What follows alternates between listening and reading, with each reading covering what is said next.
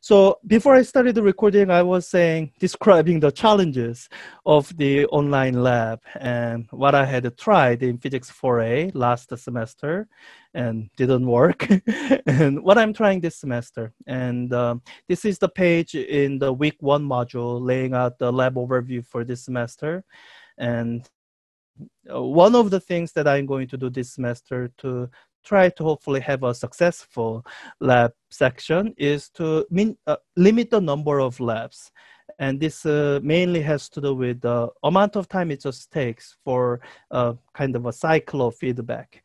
Uh, once you complete lab activity, I want you to be able to turn in something kind of preliminary to get feedback and then um, and then turning something that's final. And um, so I think I say all that in this paragraph, so I don't need to say it again.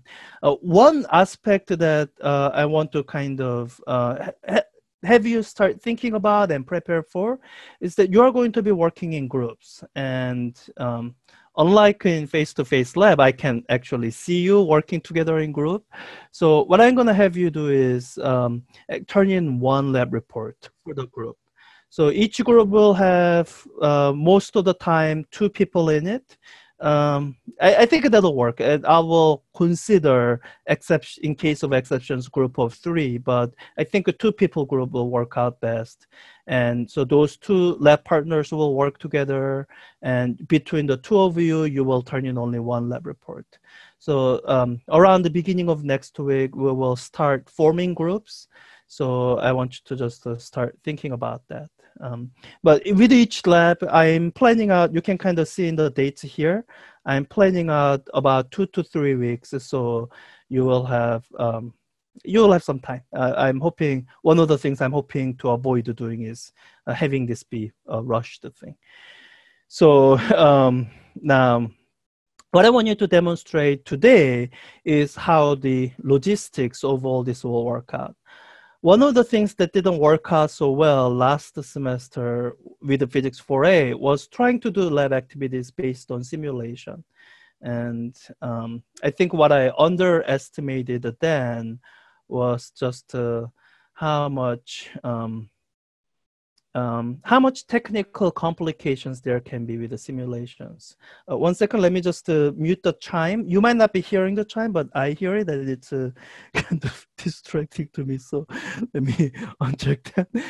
Um, so, um, so yeah, with the simulation, it just added a layer of um, layer of uh, challenges and obstacles that um, that just made the things harder. So what I'm trying to do this semester is um, I'm going to try not to use simulations as much as possible. So instead of simulation, what I'm going to have are recorded videos. And these will be recorded with some observation or measurement in mind so that you can actually make measurements uh, based on the videos you'll watch. And um, and the instruction will kind of guide you through that. And what I want you to demonstrate with the with the videos I have prepared for today is kind of give you a sense of how this might work out. So um, these are the videos that are linked from the announcement that I posted this morning. Uh, I'm going to uh, play from a file that's on my computer because I'm on a kind of limited bandwidth. Let me uh, reshare my desktop with um, optimized uh, uh, for sharing a video clip. Um, I hope I'm still sharing the right screen.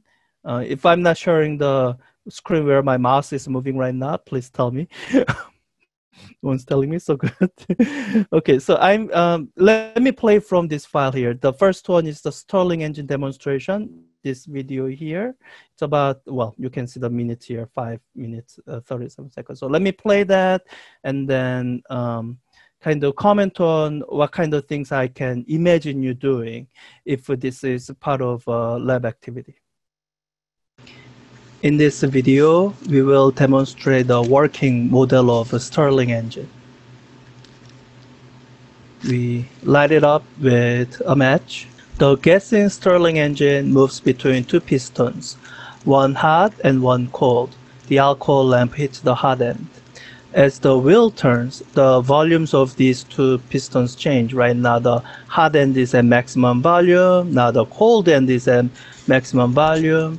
And as the gas moves between these two pistons, it heats and it cools. And this uh, becomes the basis of the engine cycle. Right now, the engine is working and it's turning. Uh, I have a IR thermometer with which I'm trying to measure the temperature of different parts of the engine. I don't know if I entirely trust this number, but it says the hot end is at about 100 degrees C, and the cold end is at about the room temperature, 24 degrees C. Um, I was trying it with a few different uh, places, and I was getting inconsistent readings. So I don't know how much confidence I have in the numbers, but the hot end is somewhere around 100 degrees C, uh, give or take 20 or 30 degrees C or so. Okay, blew out the alcohol lamp, but the engine will continue to run while the hot piston remains hot. But as with the turning engine, it eventually cools down enough that the engine no more no longer works. And this is where I wasn't quite trusting the numbers. I think it's cooler than 90 degrees C. Uh, what I need really need to be able to do is measure the temperature of the air inside, but the IR thermometer doesn't work that way. Now let me cut forward to the part of the video where I illustrate the real utility of a heat engine. Heat engine is a device that turns flow of heat, thermal energy, into mechanical energy. And one way we can use that mechanical energy is to generate electrical energy. And this device is set up to do that. I just connected the axle with um, a small generator, which is hooked up to a LED light. So I turned on the engine again and it'll take a few seconds for the hot end to warm up and once it's warmed up enough we will run the engine and see what kind of output we get.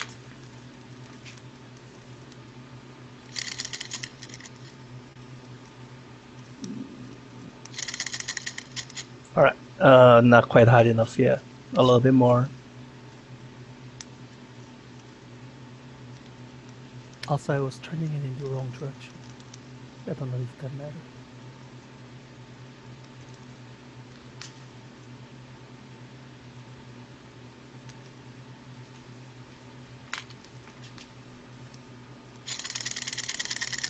Alright, so when the engine is turning slowly, the generator doesn't generate high enough voltage to turn the LED on.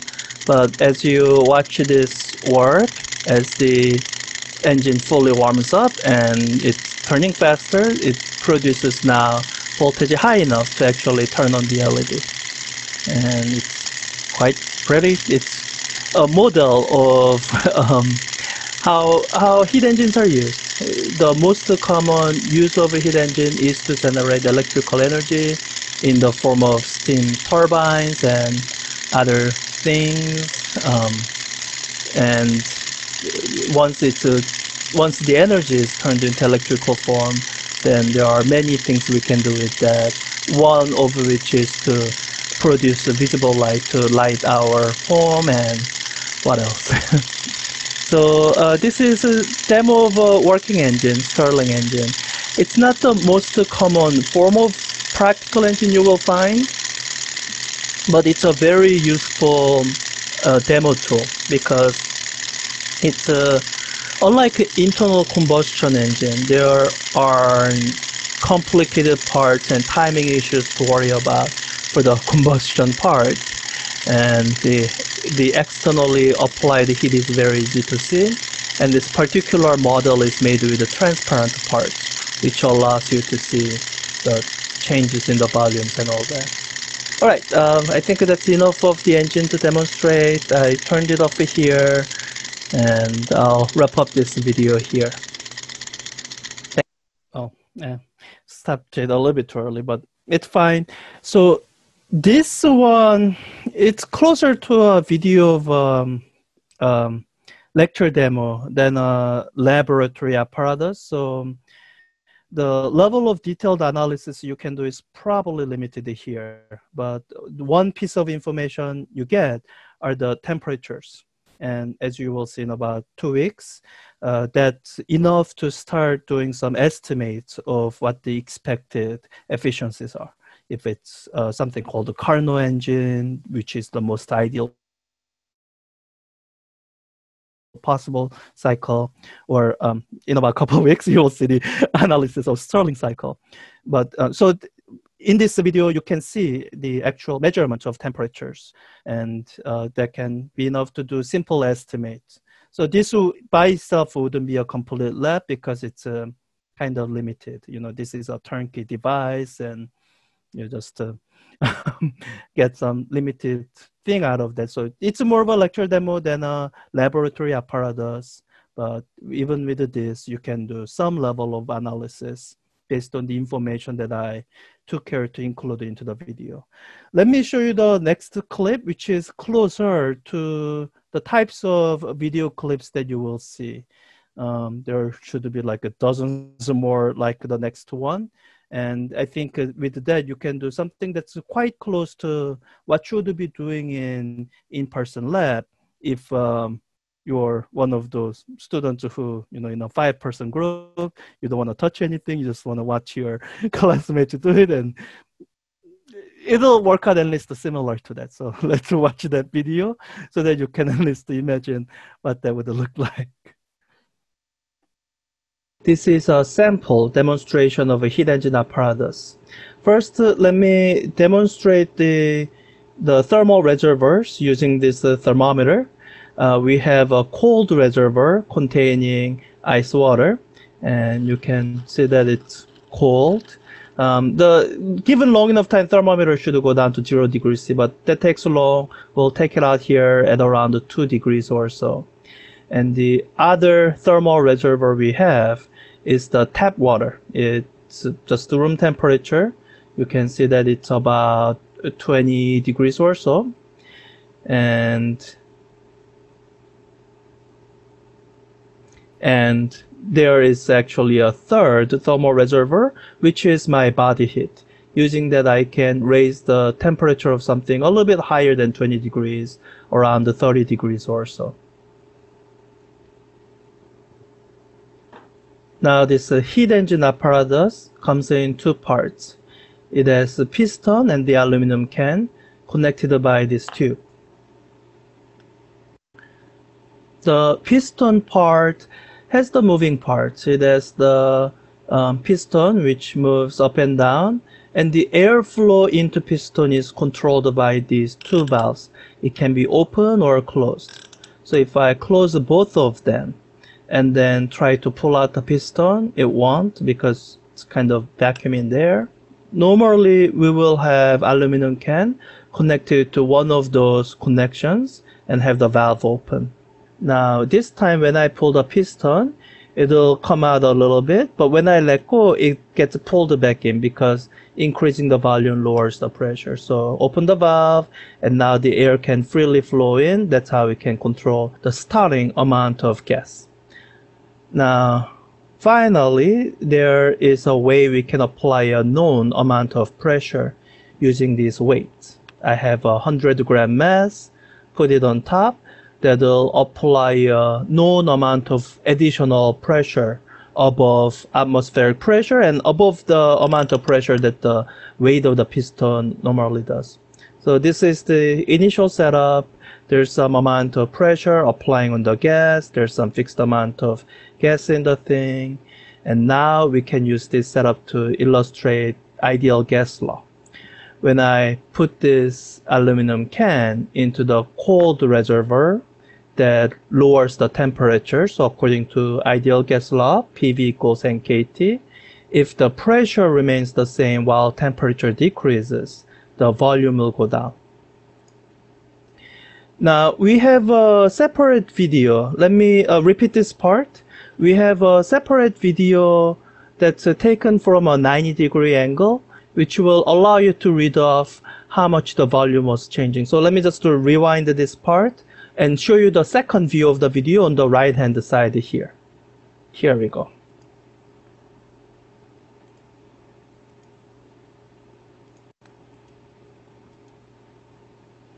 And you can read those uh, marks. Um, yeah. And there's enough information in this video to actually get a measurement of how much volume changed. And if we put the can in the tap water, the volume increases. Now you will see that it doesn't come back to the exact same spot where it used to be. It's because the gas leaks a little from this piston. So uh, this uh, experimental setup was, it's more of a lecture demo than a precision measurement type.